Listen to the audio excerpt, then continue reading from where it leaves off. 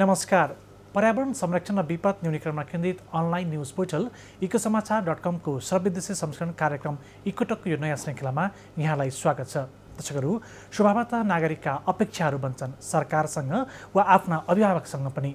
हामी मूलभूत रूपमा विकास र वातावरणका सन्दर्भहरूलाई सन्तुलित रूपमा कसरी लैजान सकिन्छ र यसमा सङ्घीय सरकारको दायित्व भूमिकासँगै नागरिकको पनि आफ्नो कर्तव्य कसरी जान सक्छ भन्ने विषयमा कुरा गर्न खोजिरहेका छौँ। यसका बिचमा आज हामीसँग हुनुहुन्छ नेपाल सरकारका सहरी विकास मन्त्री मोहम्मद इस्तियाक राई। स्वागत छ यहाँलाई कार्यक्रममा। धन्यवाद। आराम हुनुहुन्छ? एकदम। यो विकास वातावरणका सन्दर्भमा नागरिक र सरकारको सुसम्बन्ध कसरी सन्तुलन गरेर लैजानुपर्छ जस्तो लाग्छ यहाँलाई? कुनै पनि विकास होस् वातावरण होस् या देशका कुनै पनि पूर्वाधार निर्माणमा जबसम्म पब्लिक अवेरनेस हुँदैन पब्लिक जागरुक हुँदैन तबसम्म त्यो कहिले पनि सफलता पाउन सक्दैन। हामीले जति संरचना निर्माण गरे पनि जति पूर्वाधार निर्माण गर्ने गरे पनि हाम्रा नागरिक चेतनशील भएर यो हाम्रो हो यो हाम्रो सम्पत्ति हो भने जबसम्म चाहिँ एउटा आत्मबोध हुँदैन तबसम्म त्यो संरचना संरक्षण र संरक्षित हुन सक्दैन। तसर्थ अहिलेको वर्तमान परिवेशमा नेपाल सरकारको सुखी नेपाली समृद्धि नेपालको जुन नारा छ त्यो नारामा चाहिँ प्रत्येक नागरिकको सहभागिता आवश्यक छ। सबैले सहयोग गरे नै हामीले विकास निर्माणलाई मूल रूप दिन सक्छौँ। वातावरणीय परिवार पर्यावरणलाई पनि हामीले चाहिँ पब्लिकको सहयोग भएन भने प्रदूषण त आम नागरिकबाटै हुने हो। राज्यलाई दायित्व दिएर पन्छ्याउने काम हुन्छन् तर हाम्रो नागरिकहरू पूर्ण रूपमा राज्यलाई सहयोग यो वातावरण प्रतिकूल भयो भने हाम्रो मानव जीवन नै नष्ट भएर जान्छ भने उहाँहरूले पूर्ण रूपमा सहयोग गर्नु भएन भने त्यस्ता वातावरण प्रति प्रतिकूल असर पार्ने कामहरूलाई आफै सरकारले त बन्देज गरिरहेको छ तर उहाँहरूले आफै पनि यो गर्नु हुँदैन भनेर चाहिँ जबसम्म एउटा चाहिँ मेसेज पब्लिकली रूपमा आम नागरिकबाट हुँदैन तबसम्म चाहिँ त्यो निर्मूल हुन सक्दैन। यहाँ आफैलाई चाहिँ कस्तो अनुभूति हुन्छ? अहिले नागरिकको चेतनाका हिसाबले काठमाडौँ उपत्यका र बाहिरका मुफसलका जिल्लाहरू त्यहाँका नागरिकहरू।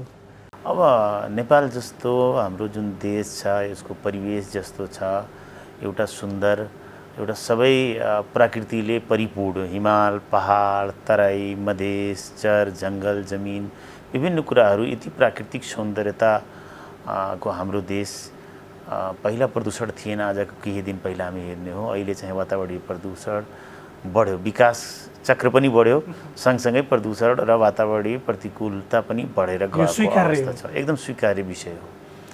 तर चाहिँ केही विगत जसरी हामीले हेर्ने हो भने आजको चार पाँच वर्ष पहिलाका बागमतीलाई हेर्ने हो। र बागमती सफाइ महाअभियान चल्यो। त्यसको अहिले चाहिँ हामीले स्वरूप हेर्ने हो भने किनारा कहीँ किनार किनारमा हरियाली क्षेत्रहरू पार्कहरू र त्यसका चाहिँ व्यवस्थापन अब न्यूनीकरण भयो त्यो पूर्ण रूपमा उन्मूलन त भएको छैन तर न्यूनीकरण भएको छ। त्यो पूर्ण रूपमा जुन दिन मैले भने नि उन्मूलन कुन दिन हुन्छ? जुन दिन चाहिँ हाम्रो नागरिक पूर्ण रूपमा सचेत हुन्छु यो बागमती हाम्रो हो। त्यो मिति तोक्न सकिन्न त्यसो नै मिति त हामीले चाहिँ अवेरनेस गर्दैछौँ। यो एउटा प्रेरणाको रूपमा कार्यक्रम आयो। देशभरि यसले चाहिँ एउटा सरसफाइको अभियान महाअभियान नै चलिरहेको छ यसमा। लाखौँ नागरिक जुटिया छन्। पेसाकर्मी लगायत विभिन्न निजामती सेवा सुरक्षा निकायका साथीहरू लागेका छन्। म हार्दिक आभार पनि दिन चाहन्छु उहाँहरूलाई यो अवेरनेस विभिन्न जनप्रतिनिधिहरू पनि लागेका छन्। तर नागरिक रूपमै जसरी अब सरसफाइ अभियान चलायौँ। बागमती सफा गर्छौँ। हजारौँ हजार मान्छेले देशभरि लाखौँ लाख मान्छेले सरसफाइ अभियान शनिबारका दिन पारेर चाहिँ चलाउने गरेका छन्। तर के हो वास्तविकतामा भने सफाइ हुन्छ। त्यसपछि हाम्रो नागरिक र स्थानीय निकायको पनि र विभिन्न तहको तिन सरकारले सात सय एकसट्ठीवटा सरकार छ। सबैले आफ्नो आफ्नो दायित्व हाम्रो यो हाम्रो पनि दायित्व हो। त्यो जुन सात सय त्रिपन्नवटा स्थानीय सरकार जुन उहाँको अब सरसफाइ उहाँहरूको संवैधानिक रूपमा चाहिँ उहाँहरूको दायित्व हो। तर केन्द्रीय सरकार पनि पन्छिन मिलेन प्रादेशिक सरकार पनि पन्छन मिलेन। जसरी अहिले हामीले काठमाडौँ उपत्यका विकास परि चाहिँ काठमा प्राधिकरण भयो त हाम्रो काठमाडौँ उपत्यकाभरि तिनवटा जिल्लामा जुन मानव सिर्जित फोहोरहरू उत्पादन हुन्छ। त्यसलाई व्यवस्थापन गर्न स्थानीय सरकार पूर्ण रूपमा सफल हुन नसक्ने भनेर पछि हामीले के गरिरहेका छौँ भने बन्चरे डाँडामा ल्यान्डफिल्ड साइड निर्माण गर्दै यही प्रसङ्ग मैले पनि जोड्न चाहेको थिएँ अनि किन? किनकि अब स्थानीय यत्रो अरबौँको लगानी गरेर स्थानीय सरकारले गर्न नसक्ने भए पनि त केन्द्रीय सरकारको दायित्व हुन्छ। किनकि नागरिक त हाम्रो पनि हुन् नि। जिम्मेवारी हाम्रो पनि हो। यो शहरी विकास मन्त्रालयले जसरी ल्यान्डफिल्ड साइड निर्माण गर्दैछ। तपाईँको विभिन्न ठाउँमा अहिले देशका अन्य ठाउँमा पनि बुटवल भैरावा नेपालगञ्ज प्रक्रियामा र छ सुचारुको प्रक्रियामा छ। अन्य ठाउँमा पनि केही विवाद केही समस्या समाधान गरेर अगाडि बढिरहेको अवस्था छ। तर हामी बन्चेरे ल्यान्डफिल्ड साइड निर्माण त गरिदिन्छौँ। त्यसको पाटो भयो भने एउटा पक्ष छ रिसाइकल गर्ने। अर्को पक्ष छ नगरपालिका। मानव सृजित फोहोरहरूलाई एकत्रित गरेर त्यहाँ पुर्याइदिने। त हामी जबै त्रिपक्षीय सहयोग र आम नागरिकले पनि जबसम्म त्यो आफूबाट सिर्जित भएका फोहोरहरूलाई यो चाहिँ रियुज हुने हो। यो चाहिँ कम्तीमा झोलामा पोलिथिनमा त्यो हिसाबले पनि हामीले वर्गीकरण गरेरै पूर्ण रूपमा आम नागरिकलाई पनि सचेत बनाएर चाहिँ लैजान्छौँ। तबसम्म मात्रै सफल हुन सक्ने सक्छ सङ्घीय सरकारका मन्त्रालय बिचको समन्वयको प्रश्न उठाइयो भने त्यो समन्वय सहकार्य भन्ने शब्दमा जुन गरिमा छ नि व्यवहारमा त्यो भेटिँदैन हेर्नुहोस् त। कार्यक्रमको डुप्लिकेसन छ मास्टर प्लानहरू आफ्नै आफ्ना खालका बन्छन्। एउटै भूगोलमा चार पाँचवटा मास्टर प्लान बनेको तथ्यहरू सार्वजनिक भएका छन्। अब के हो भने खास गरेर यो एउटा सङ्क्रमणकालीन अवस्था हो। अझै पनि। एकदम स्योर अझै हो। किनकि विगतकै बजेट हेर्ने हो भने सङ्घीय सरकारबाट सम्पादन भएको बजेटहरू थियो। तर यो वर्षको बजेट त स्थानीय प्रादेशिक र सङ्घीय सरकार तिनवटाबाट स- चाहिँ सञ्चालन भइरहेको बजेटको अवस्था छ। अहिले पनि तपाईँको विभिन्न कार्यक्षेत्रहरू विभिन्न संरचनाहरू स्थानान्तरणकै क्रममा रहेको अवस्था छ। कर्मचारी समायोजनकै कुरा गर्ने हो भने सबैभन्दा त्यसले अर्को एउटा तरङ्ग सिर्जना गरेको छ। तरङ्ग सिर्जना गरिएको छ। तसर्थ के छ भने अन्य देशहरूमा जहाँ संहिता लागू भयो अरू देशको संहिता कस्तो भयो भने एउटा सङ्घीय सरकार हुने एउटा प्रादेशिक स्टेट गभर्मेन्ट हुने दुईटामा चाहिँ अधिकार अधिकार विभाजन हुने सङ्घले के गर्ने प्रदेशले के गर्ने? अनि प्रादेशिक सरकारले त्यहाँको स्थानीय तहलाई कति अधिकार दिने भनेर चाहिँ त्यो कुराहरू हुन्छ। तर हाम्रो देशमा ठ्याक्कै तिन सरकार खडा गरियो। आवश्यकता थियो भयो कि थिएन वास्तविक रूपमा स्थानीय तहलाई जुन कन्सेप्टका तहत ल्याइएको हो त्यो आवश्यकता हुने पनि हो। तर अहिले हेर्ने हो भने त्यो भन्नुभयो भने डुप्लिकेसन। र विभिन्न अधिकार क्षेत्रभन्दा बाहिरका कुराहरू स्थिति नै बसाल्न सकेनौँ। ती नै। बसाल्न सकेका छैनन्। केही कुराहरूलाई प्रयोग गर्न चाहिँ पार्टीका रूपमा पनि मान्छेले अन्य नागरिक सरकार भनेको हामी सबै नागरिक हाम्रो हौँ भनेर चाहिँ त्यो स्थिति देखेन सङ्घीय सरकारमा त त्यो कुरा देखियो। तपाईँको नागरिक देशकै नागरिक भने हाम्रो हो सबैको लागि हो। तर स्थानीय तहमा एउटा चाहिँ राम्रो म्यासेज पनि गयो तर त्यसका विकृतिहरू पनि देखिएको त्यही त स्थानीय सरकार अथवा स्थानीय नागरिक भने तर राजनीतिक सिद्धान्त दर्शन अनि एकदम। त्यो त्यो त्यो त्यो। केही न केही केही न केही। हुन त प्रत्येक नागरिक नै नेपालको डेटा छ प्रत्येक नागरिक राजनीतिबाट अछुतो कोही छैन। जति भने पनि सुन्नुहोस् न जति भने पनि आम नागरिक भन्छन् तर नेपालको परिवेशमा यो इन्टरनेसनली रूपमै सर्वेक्षण गरेरै आइसकेको अवस्था हो। Point zero zero one percent नै भन्न सक्छौँ हामी राजनीतिक आस्था र विचारधारा नबोकेको होला। नत्र nine nine point nine nine percent व्यक्ति चाहिँ तपाईँको राजनीतिक आस्था र विचार बोकेका छ। त्यो कर्मचारी किन नहोस् त्यो सुरक्षा निकायमा किन नहोस् भनेर त्यो अवस्था विद्यमान छ हाम्रो नेपालमा। आस्थामा निषेध त गर्न सकिन्न पनि। आस्थामा निषेध गर्न सकिन्न तर त्यो चाहिँ अन्य देशको परिक्रमा मैले भने नि जहाँ संहिता कार्यान्वयन गर्ने क्रममा दुई वर्ष चार वर्ष पाँच वर्षको अवधि राखिएर गरियो। तर हाम्रो देश त फास्ट एकदम सुपर फास्ट हिसाबले इमिडिएट संविधान जारी भयो। तुरन्त इमिडिएट चाहिँ तपाईँको चुनाव गरियो। तिन तहको त चुनाव गरियो नि। अनि उहाँहरूले तुरन्तै अधिकार प्रतियोजन गरेर अगाडि बढाउँदाखेरि डुप्लिकेसन देखियो कार्य विभाजनका क्रममा समस्याहरू देखियो। मलाई लाग्छ आउने दिनमा यो कर्मचारी समायोजन पश्चात अहिलेको संरचनाहरू हस्तान्तरण भइसके पश्चात त्यो डुप्लिकेसनहरू पनि अन्त हुन्छ समस्या पनि समाधान हुन्छ र एकदम स्मुथली निर्विवाद रूपमा स्थानीयता प्रादेशिक सरकार र सङ्घीय सरकार चाहिँ समन्वय गरेर अगाडि बढ्छ। मन्त्रालयले बन्चरेलाई कतिको प्राथमिकतामा राखेको अवस्था हो हामी यही आर्थिक वर्षमा अहिले इमिडिएट कार्यक्रम स्वीकृत भयो। पाँच महिना समय बाँकी छ। पाँच महिना समय बाँकी छ। हामी यो मान्नुहोस् कि हामी छ महिनाको टार्गेट। यही माघभित्रै हामी चाहिँ टेन्डर प्रक्रियामा जान्छौँ। छोटो अवधिको टेन्डर हामी गर्छौँ। पाँच दिन सात दिन दस दिन मात्रै गर्छौँ। टेन्डर गरेर हामीले चाहिँ यही पाँच छ महिना हामी टाइम राखेर चाहिँ त्यो निर्माण किनकि चैतसम्म तपाईँको सिसडोल अहिलेको चाहिँ भर्ने अवस्था चैतपछि चाहिँ त्यहाँ पहाड भइसक्यो पहाड भइसकेको अवस्था छ। त्यहाँ अरू थपार्न नमिल्ने गरी हामीले चैतभन्दा पहिल्यै त्यसमा माइल स्टोन राखेका छौँ। Phase one phase two phase three भनेर चाहिँ टेन्डर प्रक्रियामा पनि गयो टेन्डर। कम अवधि क्याबिनेटबाटै चाहिँ छोटो प्रक्रियाबाट गर्ने भनेर भनेका छौँ। र त्यसलाई हामीले के गर्छौँ भने टेन्डर हुने बित्तिकै माइल स्टोन वान यानि चैत पश्चात इमिडिएट यहाँ थोर फोहोर थुपार्न सक्ने पनि ठाउँ बनिहाल्नुपर्छ भनेर चाहिँ त्यो पनि हामीले राखेका छौँ त्यो हिसाबले। मलाई लाग्छ। हामीले त्यो हाम्रो जुन लक्ष्य छ त्यो समयमा हामीले चाहिँ पुरा गर्छौँ। अर्को प्रसङ्ग यसरी पनि जोड्न चाहेँ। नदी किनाराहरू पछिल्लो पाँच छ वर्षमा सफा देखिए पानी सफा गर्न अझै कसरत अझै मिहिनेत चाहिन्छ भन्छन् अभियन्ता पनि। यहाँ के भयो भने अहिले पनि मिनिस्ट्रीको विभिन्न कार्यक्षेत्रहरू एउटा मन्त्रालयमा छैन। अब मान्नुहोस् न हामीले बागमती हामीसँग छ ढल फोहोर प्रशोधन ढल कसले ल्याउँछ स्थानीय तहले अनि तपाईँको बनाइदिने भने ढलसँग सम्बन्धित भने खानेपानीसँग अनि विभिन्न मन्त्रालयसँग जोडिएको विषयहरू हुन्। हामीले समन्वय गरेका छौँ त्यो मन्त्री स्तरीय लेभलमा पनि एउटा कमिटी निर्माण भएको छ। हामीले के भनेका छौँ भने विगतका दिनमा एउटा ऐन ल्याउँदैछौँ त्यसमा हामीले केही कास्ट नै राख्ने। यस्ता जुन ढलहरू सिधै नदीमा जुन आउँछ त्यसलाई हामीले रोक्ने एक ठाउँमा ढल आयो त्यसलाई ट्रिट गरेपछि मात्रै नदीमा छोड्ने। अबको नदी ऐनले यसलाई सम्बोधन गर्छ भन्ने। एकदम गर्छ। त्यही भएर चाहिँ हामीले के गर्छौँ भने स्थानीय तहले टोटल अहिले ट्याक्स प्रोभाइड गरेको सेवा र सुविधा अनुसार फोहोर उठाइदिने बत्ती बिजुली सडक सफा गरिदिने सडक सफा गरिदिने बित्ती बिजुली फोन देन सबै कुराहरू प्रोभाइड गर्छ त्यो बापत ट्याक्स लिन्छ।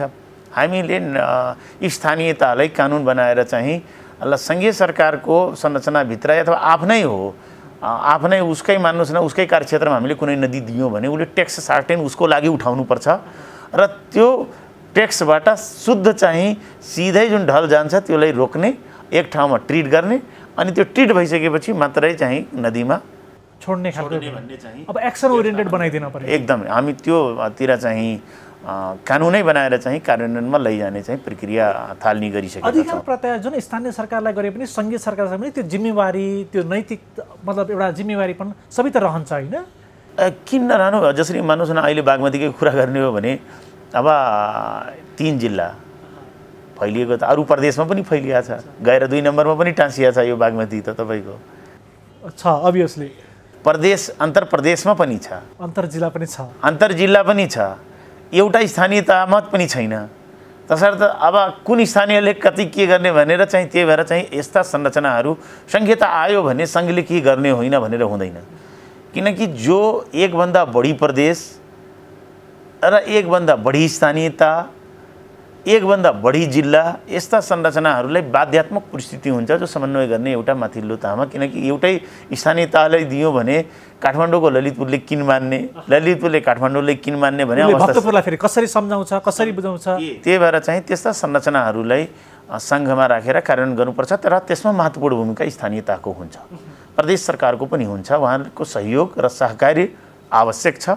र त्यहाँका आम नागरिकको पनि मोटिभेसन अनि तपाईँको उहाँहरूको सहयोग। पहिलो दायित्व समर्पण जे भने पनि उहाँहरूकै उहाँहरूकै हुनुपर्छ। त्यो भएन भने चाहिँ पोसिबल छैन।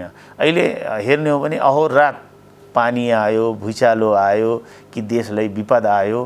तर अभियन्ताहरू बागमती सफाइ कर्मीहरू त्यहाँका आम नागरिकहरू सुरक्षा निकायका साथीहरू बिचरा अहोरात तपाईँको त्यो दिन आउँछ नि तपाईँको। त्यो ऊर्जा कहिले डगमगाए डगमगाएन। शनिबार कुन दिन आउँछ भनेर राष्ट्रप्रति एक घन्टा दुई घन्टा हामी गएर चाहिँ केही गरौँ भनेर चाहिँ त्यो अहिले पनि निरन्तर तिन सय सप्ताह पुग्न थालेको अवस्था छ। यो त भावनाले डोरायो नीतिले डोराउन सकेन तिन सय सप्ताहलाई पनि एउटा चाहिँ सामान्य प्रधानमन्त्रीजीले नै प्रमुख अतिथि बनाएर चाहिँ निम्तो अहिले उहाँको डेट फिक्स भएको छैन गरेर एउटा यो सन्देशलाई सात सय त्रिपन्न स्थानीयता र सातवटा प्रदेश सरकारलाई पनि म्यासेज दिने गरी सात सय साठीवटा अनि आफ्नो माताहतका पनि सात सय एकसट्ठी भनौँ न एउटा म्यासेज दिने गरी चाहिँ हामीले यो कार्यक्रमलाई एउटा उत्सवका रूपमा एउटा पर्वका रूपमा मनाउने र एउटा म्यासेज दिने।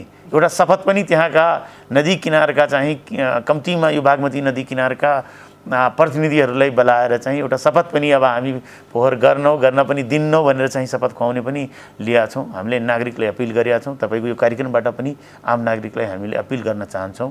स्वस्फूर्त लागेका अभियन्ता छन् अभियन्ताहरू सञ्चार माध्यम पनि होला यद्यपि त्यो दायित्व नै सबै छन् एकदम बिल्कुल। सबैजना जुन लागेका छन् उहाँहरूलाई कम्तीमा एउटा ऊर्जा प्रदान गरिदिनका निम्ति एक दिन यो हाम्रो हो बागमती हाम्रो हो यो राष्ट्र हाम्रो हो यो हाम्रो गौरवको कुरा हो। झिलिमिली चाहिँ सेतो पानी खलालला चाहिँ बगोस् हाम्रो छोराछोरी भोलि त्यसमा स्विमिङ गर्न पाउन् नुहाउन पाउन् प्राकृतिकमा रमाउन पाउन् भनेर चाहिँ त्यो उद्देश्यका निम्ति कम्तीमा त्यहाँ पुगिदिनु पर्छ यो भनिरहँदाखेरि तपाईँ आफैलाई भित्र अन्तर्मनमा चाहिँ यो सपना होला कि अथवा त्यस्तो खलल्ल पार्ने हामीले चाहिँ सपनालाई विपना भन्छन् नि तपाईँको यथार्थमा चाहिँ हामी रूपान्तरण गर्न सक्छौँ। अहिलेसम्म तिन सय हप्ताको करिब पूर्व सन्ध्यामा छौँ हामी। यो बागमती सरसफाइ महाअभियान भावनाले चल्यो धर्मले चल्यो सामाजिक चेतले चल्यो। तर यसलाई अब एउटा फड्को मनाउने अब यो मूर्त। रूप लिन्छ। हामी तिन सय सप्ताह त्यही अनुसार बनाउँदैछौँ मैले भने नि अब यो ऐन आउँछ कानुन बनाउँछौँ। त्योलाई हामी कानुनमा रूपान्तरित गरेर ट्रिट गरेर चाहिँ किनकि हाम्रो देश अब एउटा भन्नुहोस् न आर्थिक रूपले पनि त्यति सक्षम नभएको कारणले धेरै चाहिँ अब ट्रिट प्लान्टहरू धेरै चाहिँ प्रशोधन गरेर चाहिँ त्यसमा चाहिँ ऊ गर्ने भनेर चाहिँ छोड्ने जुन प्रक्रिया छ त्यो एकदमै महँगो भएकोले। तैपनि हामीले चाहिँ अब यो पब्लिकलाई नै कम्तीमा तपाईँहरू आफूलाई नै आफ्नो वरिपरिका पर्यावरणलाई नदीनालालाई सफा बनाउनका निम्ति केही थप ट्याक्स पे गर्ने चाहिँ बनाउने अनि चाहिँ त्यसलाई ट्रिट गरेर छोड्ने काम चाहिँ हामी त्यो अनुसारका गर्नलाई यो भनिरहँदाखेरि आम नागरिकको गुन्जायस छ प्रश्न छ। नदी किनाराका बस्तीहरू कसरी व्यवस्थापन हुन्छन् मन्त्रीज्यू? सुकुम्बासी समस्या के हो? अनि यहाँ काठमाडौँमा तिनवटा घर दुईवटा गाडी उनीहरू सुकुम्बासीको आवरणमा देखेका छन् भनेर पनि सुने अहिलेको अहिलेको एकदम क्लियर हो। अहिले तपाईँले भूमि नीतिहरू आउँदैछ भडाभड आइरहेछ। मोही समस्याका लागि सूचना प्रकाशन भएको छ। अब मोही नै नहुने भनेर चाहिँ बनाउँदैछौँ। अब हलिया मुक्त कमैया पनि अन्त हुने र एकैपटकका लागि कति सुकुम्बासी त्यो अन्त हुने। त्यसपछि कसैले अट्टेर गर्यो भने कार गाडी राख्नेहरू अनि काठमाडौँमा बङ्गला हुनेहरू। बङ्गला हुनेहरू। जुन अतिक्रमण गरेर बसिया छन् डोजर लगाएर चाहिँ हामी त्यसलाई अतिक्रमण हटाउँछौँ। पहिला हामी जुनुन सुकुम्बासी हो। जुनुन ऊ चाहिँ गरिब हो किनकि शहरी विकास मन्त्रालयले हाम्रो संविधानले फन्डामेन्टल राइट्स दिएछ कुनै पनि नेपाली नागरिक आवासविहीनताको अवस्था हुँदैन। हामी आवासविहीन नागरिकलाई आवासको व्यवस्थापन गर्ने राज्यको दायित्व हो। प्राथमिक उपचारदेखि प्राथमिक शिक्षादेखि विभिन्न कुराहरू आम नागरिकको अधिकार कानुनमै रूपान्तरण भइसक्यो। त्यसको धारा तिस पनि सम्झाउन चाहे स्वच्छ वातावरणमा एकदम बिल्कुल। स्वच्छ वातावरणमा पनि बाँच्न पाउने अधिकार फन्डामेन्टल राइट्सका तहत मौलिक हकका तहत कानुन बनेर चाहिँ आइसकेको अवस्था छ। हामी के भन्छौँ भने पहिला हामीले अहिले सूचना प्रकाशन भइरहेछ। मोहीको भयो मुक्त कमैया र हलियाको भयो। अब सुकुम्बासीको पनि आइसकेको अवस्था छ त्यो पनि हुन्छ। त्यसपछि अटेर गरेर बसिएकालाई हामीले बल प्रयोग गरेर चाहिँ हामी हटाउँछौँ। संविधानको हामीले त यो बागमती किनार सफा गर्नका लागि भवन नै बनायौँ फ्ल्याट नै निर्माण गरेका छौँ। तर उहाँहरू किनकि तिन ठाउँमा छेकेर बसिया छन् सबै चाहिँ त्यहाँ तपाईँको अवस्था छैन। त्यसले प्रयोग एउटा कारण के हो? कानुन नहुनु। अर्को कुरा चाहिँ सा तपाईँको भूमि व्यवस्था तथा गरिबी निवारण मन्त्रालयले गरिबहरूको पहिचान गरेर परिचय पत्रलाई यतिजना तपाईँसँगले बनाउनु भएको छ यतिजनालाई उपलब्ध गराइदिनु भनेर चाहिँ एउटा त्यो स्थिति हो। तर अहिलेको कानुनले हामीले यसलाई पूर्ण रूपमा रूपान्तरण गरेर पूर्ण रूपमा चाहिँ यो हामी अन्त गर्छौँ। यो सुकुम्बासी समस्या पनि अतिक्रमणको समस्या पनि यो सबै अन्त हुन्छ। अब नदी नालाका किनारका अतिक्रमित बस्तीहरू चाहिँ हट्छ।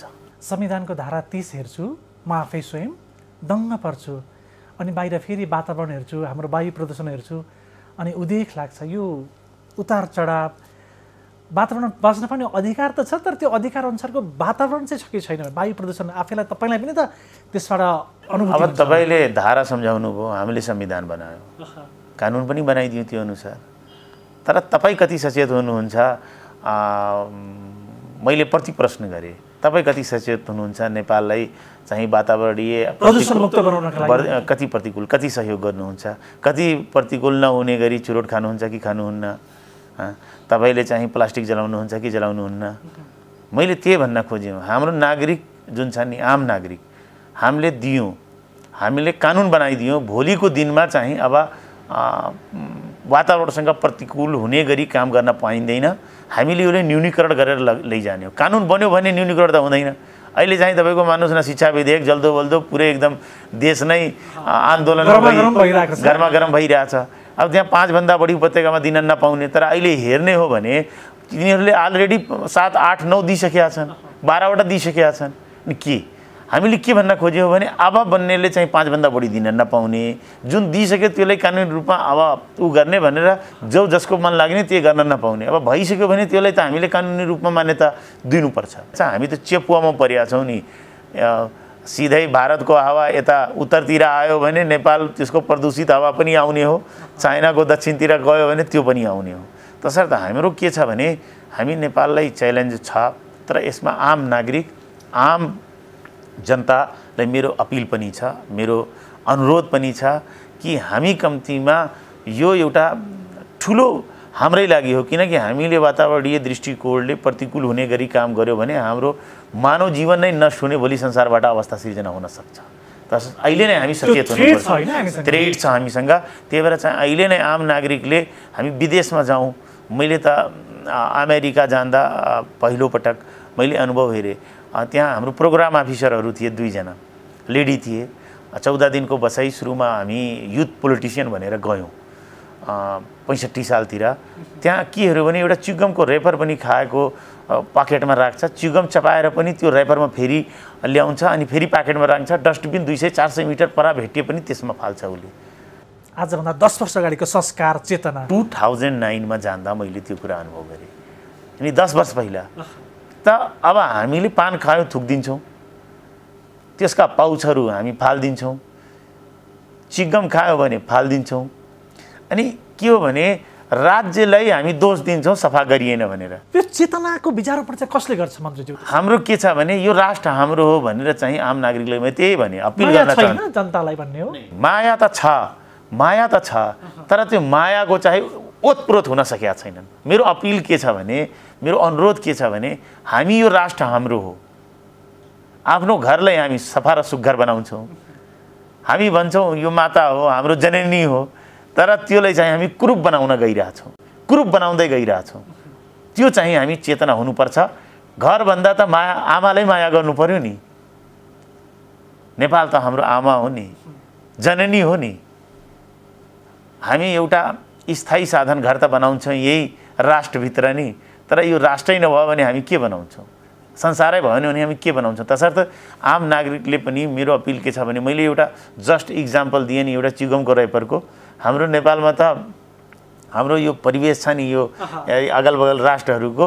दिनभरिमा खानेले त पचास पाउच खान्छ पचासवटा त फालेको हुन्छ नि तपाईँको। अहिले पनि सफाइ अभियान पनि देखिने त्यही पराग गुटका र त्यही सबैभन्दा बढी अहिले खोलाहरूमा के देखिन्छ भने त्यही ऱ्यापरहरू पाउचहरू देखिन्छ।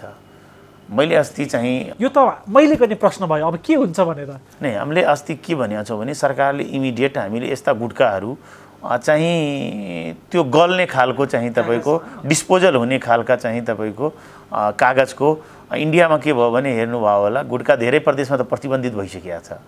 जहाँ प्रतिबन्धित छैन त्यहाँ चाहिँ प्लास्टिकको रेपरमा बेच्न पाउँदैन। सुधारात्मक अभियानहरू व्यापक रूपमा चलाइरहेको छ। व्यापक रूपमा प्रदेश चलाउनुपर्छ। त्यो चाहिँ हुनैपर्छ।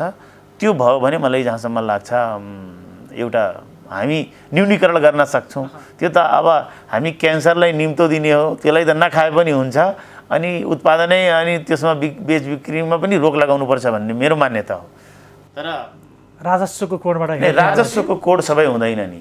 देशलाई प्रतिकूल हुने गरी कुनै चिजमा अस्ति अस्ति तपाईँले हेर्नु भने रक्सी भनेको राजस्वलाई प्रतिकूल असर पार्छ होला। आम्दानी कम हानि बढी गरिरहेको छ। हानि पनि बढी गरिरहेछौँ। हाम्रो हाम्रो हाम्रो आखिर भोलि चाहिँ मृगौलाको फ्रीमा औषधि उपचार त गर्नै परिरहेछ।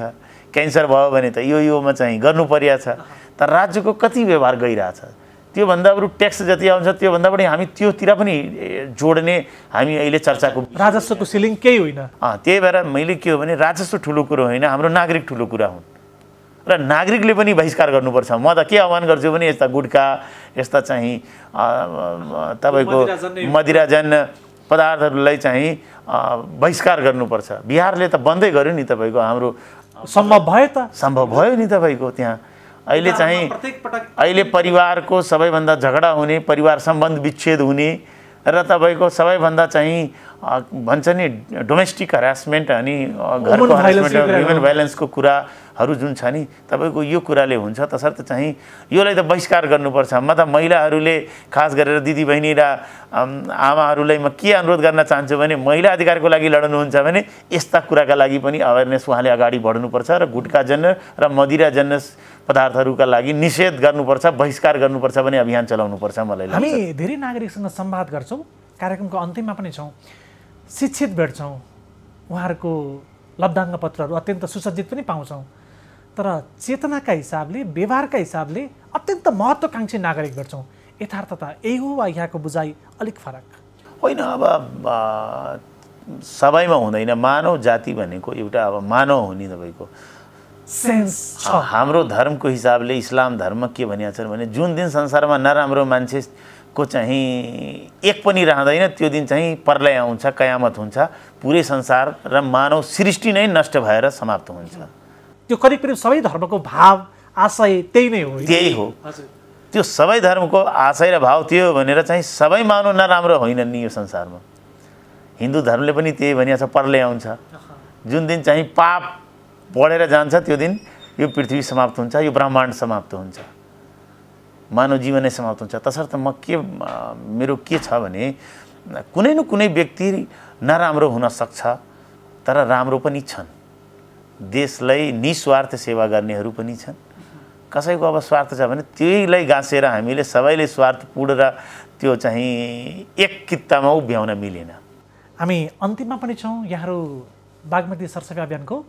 तिन सय हप्ताको पूर्व सन्ध्यामा हुनुहुन्छ। आम नागरिकलाई अपिल के रहन्छ सरकारको तर्फबाट? मैले अब यो शहरी विकास मन्त्रालय अन्तर्गत बागमती चाहिँ अधिकार सम्पन्न बागमती भएको कारणले म उपत्यकामा उपलब्ध शनिबारका दिन बिदा पनि हुन्छ छुट्टी पनि हुन्छ। म प्रत्येक राष्ट्र सेवक कर्मचारीलाई यहाँ उपलब्ध हुने। प्रत्येक तपाईँको त्यो चाहे सुरक्षा निकायका हुन् आर्मी हुन् सशस्त्र हुन् जनपद हुन् या अन्य निकायका हुन् र आम नागरिक अभियन्ता पत्रकार समाजसेवी सबलाई यो राष्ट्र हाम्रो हो यो बागमती हाम्रो हो। पहिल्यै स्वरूपमा यो क्रुप भइसकेका छ यसलाई सिँगारिनुपर्छ। यसलाई पहिलेको अवस्थामा फर्काउनुपर्छ। यो हाम्रो च्यालेन्ज हो। यो पहिलोको अवस्थामा फर्कियो भने यो हाम्रै आँगनको हो नि काठमाडौँ यो उपत्यकाको आँगन हो। आँगनमा चाहिँ एउटा फोहोर बगेको छ त्यसलाई चाहिँ सफा गर्नुपर्छ भन्ने चेतनाका साथमा त्यो दिन आइदिन म विशेष अनुरोध र आग्रह गर्न चाहन्छु। यो हामी सन्देश दियो भने मेरो राष्ट्र नै यस्तै झिलिमिली अनि तपाईँको एकदमै सफा र सुग्घर हुन्छ भन्ने मैले विश्वास लिएका छु। यहाँको कार्यकालमा अहिले उद्घोष गरेका शब्दहरू व्यवहारतः सँगै उपभोग गर्न पाइयोस् हाम्रो पनि शुभकामना अत्यन्त आभारी छ यहाँको समयका लागि। एकदम हामी तपाईँ आशा गर्नुहोस् आम नागरिकले आशा गरौँ आम नेपालीले आशा गरौँ। हामी भनेका उसमा चाहिँ खरो उत्रेर चाहिँ हामी यसलाई सफल पार्छौँ। नागरिकको मनस्थितिले भन्छ सरकार मेरो। अनि सङ्घीय प्रादेशिक वा स्थानीय सरकारले नि भन्छ नागरिक हाम्रा हुन्। यहाँ सुसम्बन्ध ल्याउनु वा समन्वय गर्नुको विकल्प छैन। मूलभूत रूपमा वातावरण पर्यावरण र प्रकृतिलाई पुरानै अवस्थामा फर्काउनको लागि आम रूपमा एउटा एकीकृत बल सृजना गरेर लाग्नुको विकल्प पनि छैन। आफआफ्नो क्षेत्रबाट क्षेत्रगत दायित्व निर्वाह गरौँ। हाम्रो पनि शुभकामना। नमस्ते।